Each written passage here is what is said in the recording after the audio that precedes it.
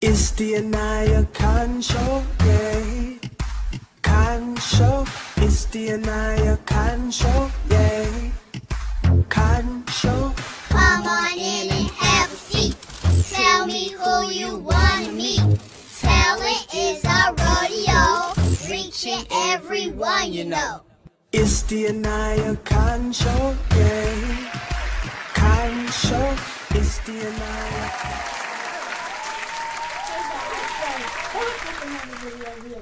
Aniyah Cotton Show. Do you guys know what's coming up? I can't hear you. Do you guys know what's coming up? It's Halloween. Time to scare you. Peekaboo. Did I scare you?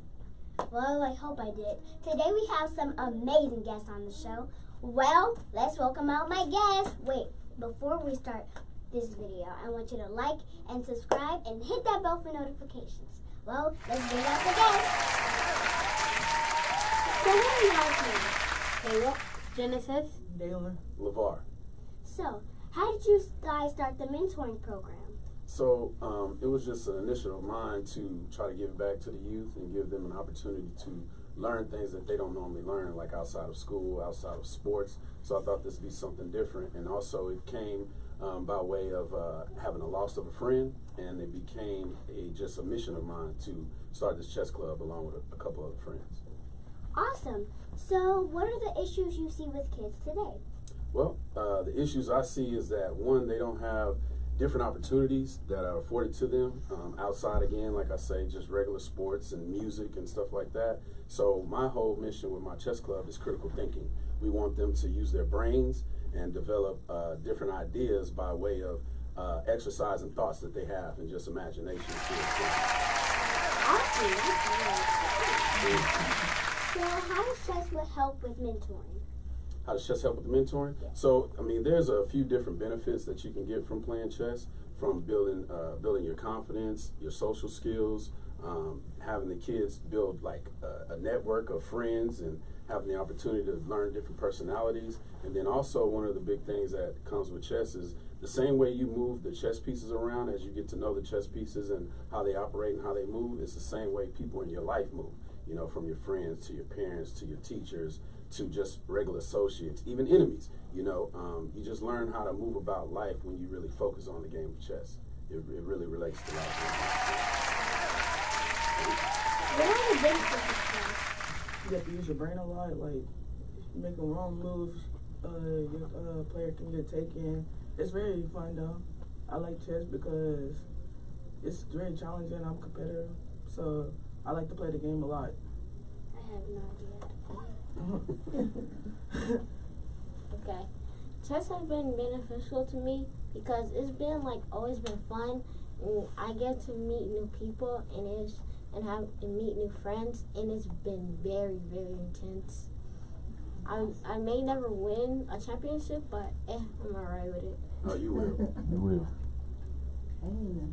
Chess has beneficial me um, with problem solving skills because it helps me analyze how to problem solve in life, not just for the game. And so it's like it helps you like analyze what your move is to think about if you do this, how could that affect your opponent? And so it kind of helps you like in the real world to think about what you act or do and how it's going to affect others. How long have you guys usually been playing? Mm, About three months maybe, I say like two months. about a month. Yeah, we officially started the chess club in um, on July 14th. That was our first actual meeting this past summer. That's so great. You guys really teach me how to play Come on in. You're welcome. So, does the kids sometimes compete compete while playing chess? Absolutely. Every week within our chess club, we have um, about 20 to 30 kids total. And, you know, every week is, is a different amount of kids that are going to show up. So we have an instructional um, lesson each week that we go over where they're learning something new, whether it's chess moves, um, whether it's just some type of relation, uh, uh, correlation that they have to life. Um, and then after that, we play a tournament, a weekly tournament, and we have one winner. And then each winner is awarded with, you know, different things and different prizes. You guys are really, really good. yes. So, how can kids join the program? So they can show up any Sunday. We do this every Sunday from two to four um, at 8200 uh, Willcrest, and it's in the heart of Alief. And we're at uh, the Texan Wobble Wings, and it's a free program. They show up, they play, they compete. You know, we have a whole registration that we go through. You know, we get to know them, and then we're gonna meet them where they are. It doesn't matter if they know how to play chess, never heard of chess, they're experts at chess. You know, so we just want them to get involved and uh, you know just come and support the chess club. Oh, that's really, really good. Thank you. So, how many youth has your program reached? Man, so like I said, right now on my roster, I have actually 30 kids um, active on the roster.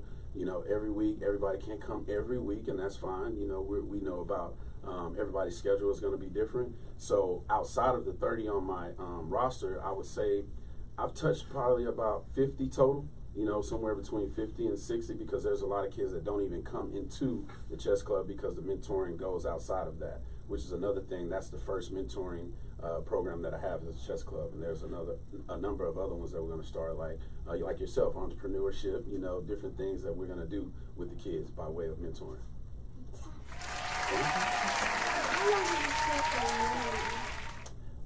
Know, a chess game can be over in a matter of two moves, actually. You know, um, if you're an expert or what they call a game master, um, you can end a get chess game really quick. But on average, you're going to say anywhere from, you know, 10 to maybe as much as 20 minutes. You know, it just, it's intense. It just depends on the players.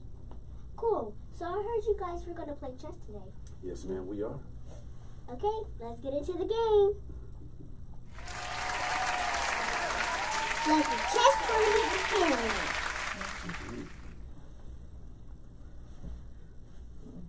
All right, so what they're doing now is uh, demonstrating what we call the opening uh, part of the chess game, and then um, there's an endpoint to it which we call castling.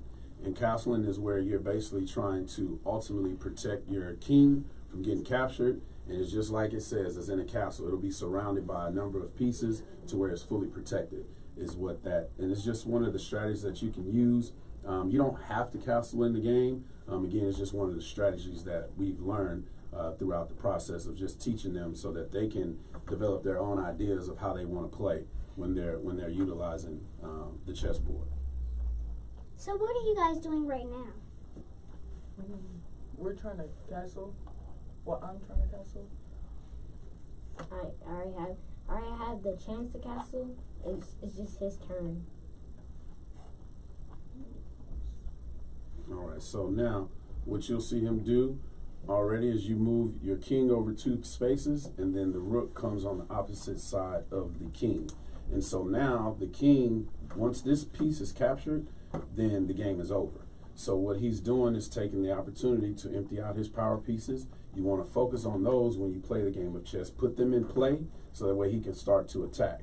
So now this is technically the end part of what you call the opening game of the chess. Um, and so now the king is surrounded by a number of his pieces, so he doesn't have to worry about his king getting taken right now. And so that's basically what he's just accomplished by castling. And if you look on the other side, the other opponent has the option to do that as well if he wants to utilize that that technique. He can, but he doesn't. He needs to get his king, queen, I mean, and his horse out the way. Absolutely, y'all keep playing. It's your go. And so as they, um, as he castles now, you'll see the other opponent castle. So I'm for it for a second. And so what we're doing is just demonstrating that it's not always going to be these moves that you see when they go to castle, but that's just one of the strategies we wanted to demonstrate. And so now at this point, they've reached what you call the mid game. And so now they really go into the part of the game where they're using their own brains and their own strategies, their own techniques to actually take out each other's king at this point. So, who usually wins while playing chess? Well, it can only be one person, um, or it could be a, a stalemate. Yeah, and so it just depends who's who makes the the right moves all the time. It's not always the best player either. You know, the best player is not gonna always be the person that wins. It's gonna be the person who's thinking the best at the time. Awesome. Do you guys play chess often? Mm-hmm.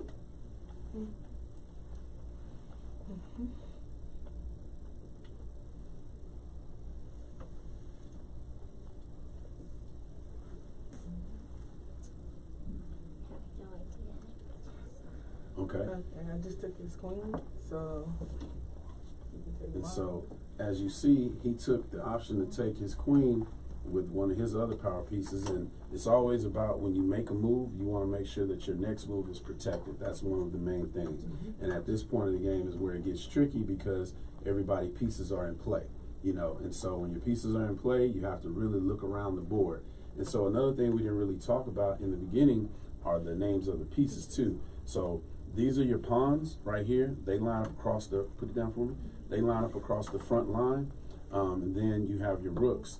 And the pawns can, uh, when they start off, they can move forward two spaces or just one, you know, and they just go forward. So with pawns, you may hear in life people say they're using me as a pawn because pawns just only have one option uh, necessarily. They can't go back, they only go forward. And so those are the ones that get sacrificed a lot and normally get taken first. Um, but you can use a pawn, and the way we use pawns in the game of chess related to life is that if you keep moving as a pawn and you get across, if this pawn gets all the way across to this side, of course this this piece would have to be out the way. Then this pawn can become a queen. And so the point of that is that if you keep moving forward in life, you can become what you need to become. And so that's just one of the quick lessons that we do as he puts his pieces back. You know, so there's there's there's there's definitely meanings to everything in the game of chess, and you just gotta watch how you move. And um, so the horse, it moves in an L shape. This is the only piece that can jump over other pieces. Okay, and so you got those thinkers who just think ahead of the game. You know, they're always two steps ahead. It's like my son sir say, um, sometimes you're just ahead of the game, and that's what the horse does. But you have to be careful because you don't be just jumping all around. You know, in life, you want to make sure that all your moves you're making strategically. Awesome. So where can we guys follow you at? So we're on Instagram at um, Dad Kronicles, and that's D A D K R O N I C L E S. Um, we have a Facebook page, and we have a, uh chess club group on the Facebook page as well. You know, so we're on Facebook and Instagram. You can find us Dad Kronicles. Awesome. It's the Aniyah Kind Show. A dream big. Nothing is impossible. Bye.